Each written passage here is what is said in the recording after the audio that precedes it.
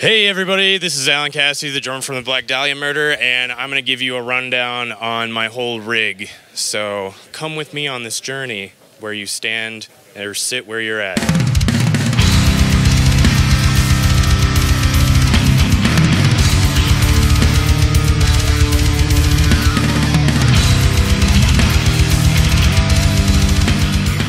So this is the Tama Star Classic Birch Bubinga kit, and this was actually Shannon Lucas's uh, before I had joined the band. Um, the dimensions are uh, 20 by 18, 8 by 7, 10 by 8, 12 by 9, and a 16 by 14. Um, these drums have a lot of attack and a lot of like mid to high range uh, tones to them, and it really just cuts through and um, kind of keeps the sustain low uh, in order to uh, cut better and just be able to play fast stuff and have it all articulated. And uh, yeah, it just sounds really mean. This is like probably a you know 15 year old kit at least, and it still sounds absolutely incredible. We've beating the hell out of it, but man, it is resilient. Also, this is my uh, Tama Bubinga snare. Uh, it's a SLP series, um, if you can see the badge. And uh, boy, just has all the same characteristics. This thing has so much projection and attack. Like, it literally vibrates my face. Like, uh, my sinuses, it'll clear my sinuses sometimes. It's insane. So, I've been playing this uh, the whole time that I've been in the band. The snare came along maybe like three or four years uh, into my being with these guys, and um, this is definitely my go-to. All right, the cymbals. We have um, all Sabians. It's a mix of uh, AAX and HHX, and some just HH or AA. Um, right here we have the uh, AAX 13-inch stage hats. Um, nice and quick, you know, very articulate sounds. Um, we have this uh, Mini China. It's a Dave Weckl signature, and it's the 14-inch HHX Evolution. Sorry, I'm not holding the mic by my mouth. um, so that's a 14-inch HHX Evolution, uh, Dave Weckl signature. Um, we have a AAX uh, 18 Explosion, an HHX 18 Explosion, then recently had to switch up the um, the Chinas because they stopped making the AA uh, Metal X. So now we're just running with the AA Metal uh, China, or this might be one of the last of them. I can't remember exactly, but yeah, these are killer. They sound really nice. Um, kind of a warm but like raw tone at the same time. Then we have a 17 uh, AAX Explosion. And then this is my favorite cymbal on the kit. It's the HH uh, Power Bell 22 inch ride. This thing, I just love that, like, it's got, you know, kind of a dirty, non brilliant finish to it and um, kind of kills the ring overall. So it's just uh, faster, articulated stuff. I mean, that's what this whole kit setup is about. You know, when you're playing death metal, uh, really fast speeds, you don't want everything bleeding into one another. So this thing is just heavy and got a big bell. I also really like that it has um, two distinct sounds. The body does not sound necessarily the same as the bell. Um, and uh, yeah, I think that's my favorite ride by far that I've ever played.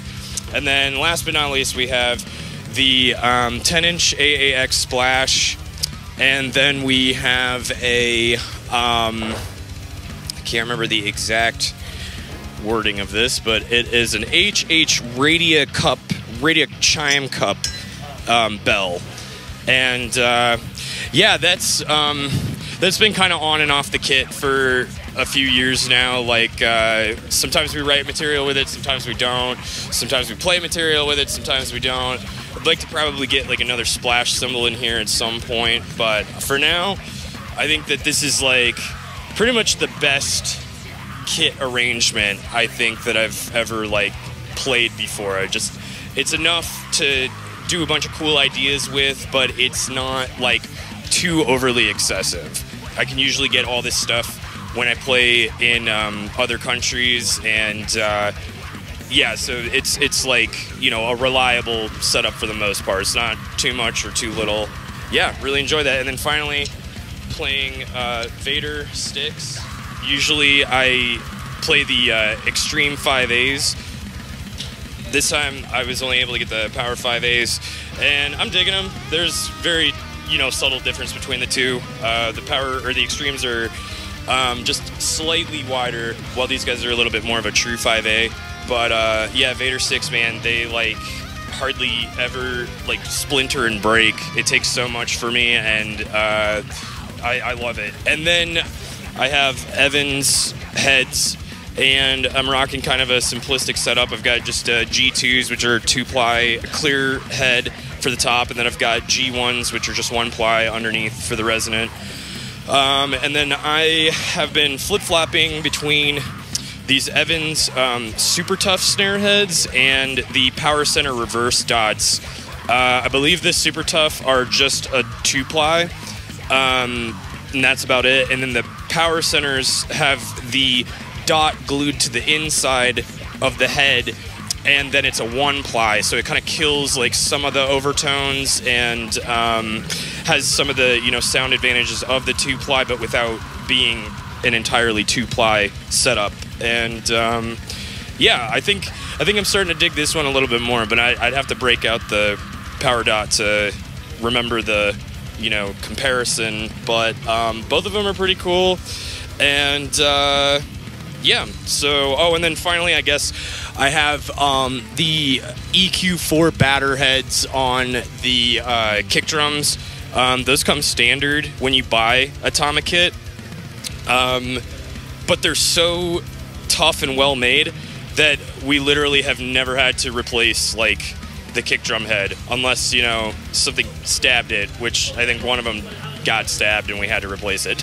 so um, these are these are really great heads, and uh, yeah, just this you know combination of stuff really makes the material sound. I think amazing because of uh, all of the different you know qualities that they all individually have, but put together, it's just it's uh, everything you'd want out of a death metal setup. I think. So as you guys might have noticed, I got these really kick-ass drum lights.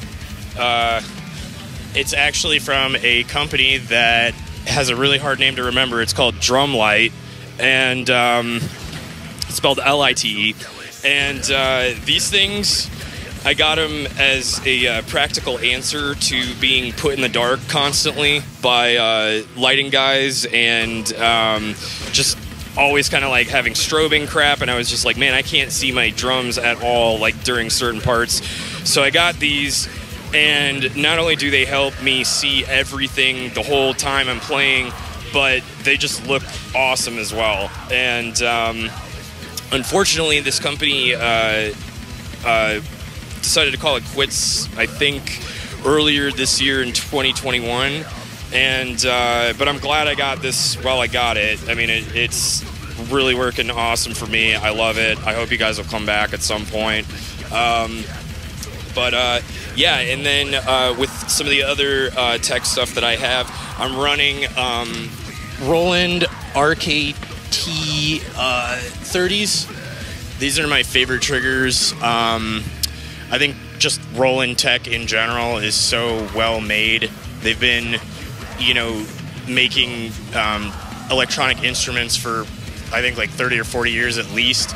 And um, these 30s are like sensitive enough that they'll pick up, uh, you know, little things that I uh, need to do. Like if, if I'm not able to hit the drum as hard because I'm either playing faster or I'm like just trying to be steady and articulate with uh, my hits it'll pick it up. But uh, if you accidentally like you know bump the kick with the head or something, like just trying to read or I mean the the beater with the head, and you're trying to restabilize yourself. Um, these things are just really good about not picking up some of those more accidental hits and. Uh, I think that's because this is paired with the Roland TM2 module, um, which is what I use as the brain of the triggers. This thing is amazing. It's um, battery powered, Uh, I don't currently run it with batteries, but if you ever got into a pinch someplace, just four double A's, I think, and you're good to go. Then this thing has an SD card reader in it, and you can um, put in your own samples, uh, whatever you want. It's um, it's just a kind of general purpose to input trigger uh, system and it just works great for having two kick drums. And um, and then you got like two MIDI outs on the side here.